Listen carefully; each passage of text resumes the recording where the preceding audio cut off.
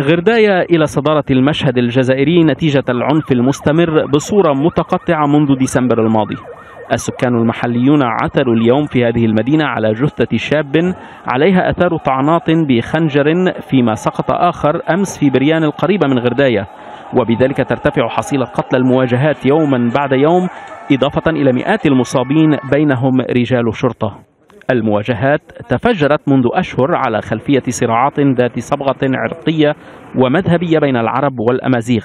ولاية غرداية تقع على تخوم الصحراء الكبرى وتبعد 600 كيلومتر جنوب العاصمة الجزائر وتضم عددا من المدن أهمها غرداية وتعتبر ذات أهمية حيوية لمرور طريق سريع رابط بين الشمال والجنوب عبرها.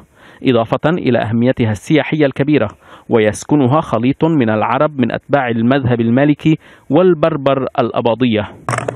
التوتر البالغ في غرداية دفع بالسلطات الجزائرية إلى نشر نحو ستة ألاف عنصر من الأمن قبل أن توفد السلطات عبد العزيز بالخادم المستشار الخاص للرئيس عبد العزيز بوتفليقة في محاولة لنزع فتيل الأزمة. وربما يشكل مقتل شابين خلال يومين فحسب مدعاة لتوتر جديد في هذه المنطقة.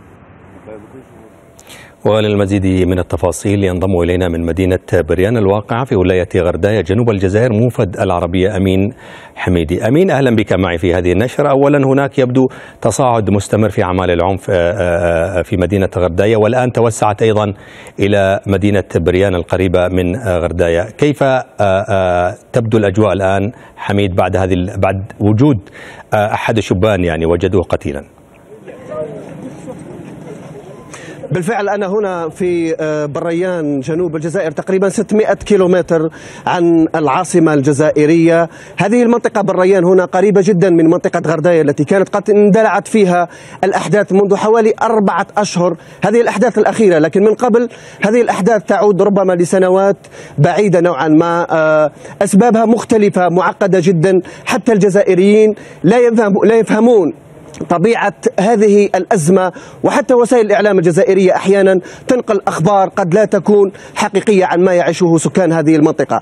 وصلنا الآن هنا إلى هذه المنطقة قبل حوالي ربع ساعة. وسائل الإعلام الجزائرية تتحدث عن اشتباكات كبيرة تتحدث عن انفلات أمني كبير.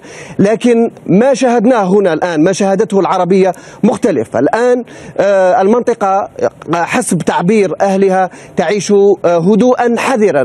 قد تعود الاشتباكات الاشتباكات في أي لحظة لكنها الآن في هذه اللحظات هادئة مستقرة عدا أن الجانبين من الأمازيغ الميزابيين والعرب متخوفون جدا من عودة الاشتباكات. بين الفينة والفينة الأخرى. على كل أحاول أن نعرف هذا المشكل باختصار معنا أحد أهالي سكان ميزاب. من الجانب الميزابي هنا هناك جانبين جانب ميزابي وجانب عربي يفصل بينهما طريق وطني كبير. ربما حتى الميزابيين يتخوفون للذهاب إلى العرب من الجانب الآخر والعرب يتخوفون من الذهاب إلى الجانب الميزابي. أريد أن أسأل كيف تفسر ما تعيشه غرداية اليوم؟ كيف تعيشه؟ ما تعيشه بريان اليوم؟ بريان أنا السلام عليكم. آه راح نحكي لكم على بريان أنا. بر... راح راح نحكي لكم على بريان بريان كاين واحد الناس خرجوا في الانترنت قال الجموعة المقدسة الجموعة آه زحف الجموعة المقدس. هاد الناس هذوم لازم يتحكموا. لازم يتعرفوا. هذوم الناس ما يعني بالجمعة المقدسة؟ مكتوبة في الزحف الجمعة المقدسة على الخوارج. كتبوها. هاد الناس هذوم خوارج من؟ أنتم؟ خ... إيه خوارج في بريان وفي غردايه وفي القرارة. هادم الناس هذوم لازم يتحكموا. غير يتحكموا الناس هذوم نعرفوا الناس اللي راهم وراهم. كان باسكو يا كاين بزاف الناس اللي حابين يشعلوا الجزائر من غرداية الجزائر حابين يشعلوها من غرداية على كل حال الجزائر حابين يشعلوها من غرداية ما ما قدروش يشعلوها من غرداية ولا درك آه الانترنت يخدم خدمته. والناس لكن سامحني سامحني. شو شو هي أسباب الحقيقية أسباب التي وصلت بكم إلى هذا النزاع؟ أسباب الحقيقية الأمن سمع نقولوا الأمن. y a y a beaucoup de آه، كاين بزاف الناس آه، كاين بزاف الناس في الولاية تاعنا كاين بزاف الناس اللي كما يقولوا ل- اللي خارجين طريق بزاف. le taux de vandalisme حنا نقول لك en français le taux de لا لا أنت تحكي عن عن العصابات عن الجريمة. هذوك عصابات الجريمة هذوك اللي راهم يخدموا في الولاية. هذوك هما اللي راهم يخدموا في الولاية. donc les gens qui sont sincères الناس اللي راهم لاباس عليهم خاطئهم المشاكل ما يديروش المشاكل.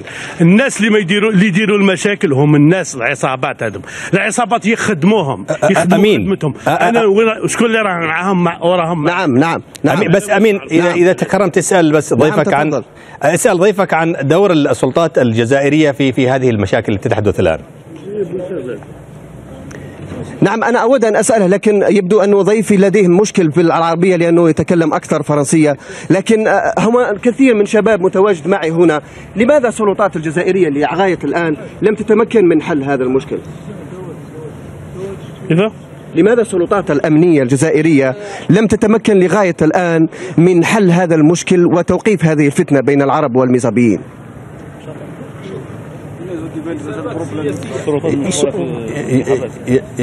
السلطات الجزائرية الآن مشغوله في الانتخابات فقط. ما- همها الوحيد الانتخابات فقط. لماذا؟ ما علاقة الانتخابات بما تعيشونه اليوم هنا؟ تعيشونه اليوم هنا. الجزائر الجزائر تمر بالمراحل. الانتخابات الماضية الانتخابات في 99 في السنوات الماضية هناك آه، إرهاب طرقات هناك آه، سيارات مفخخة هنا المره هذه الأخيرة جابوا المشكل تاع غردايه في الوسط تتهمون السلطات أنها هي من وراء تحريك هذا الوضع السلطات.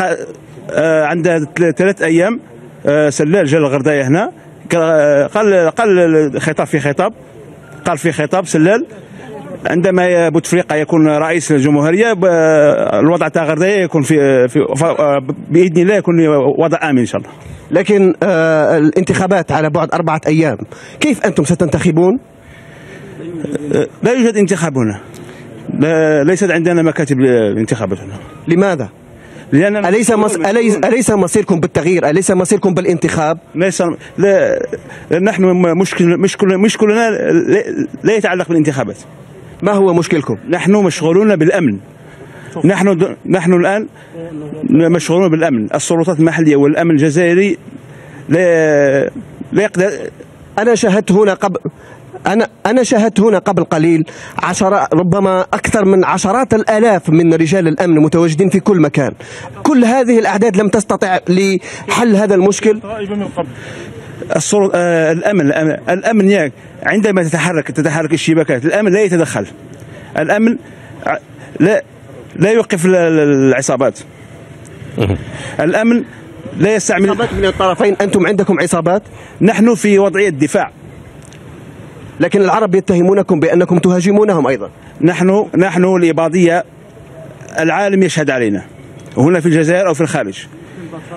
لا يوجد لا لا يوجد إباضي يعتدي. إذا نعم آمين نعم. إذا هكذا كما تشاهد هذا هو الجو هنا في غرداية. جانب يقول أنه الجانب الآخر هو المعتدي والجانب الآخر لما تتكلم معه يقول أن الجانب الآخر هو المعتدي. الفتنة كبيرة جدا كما تتحدث وسائل الإعلام وكما يقول الجزائريون هنا.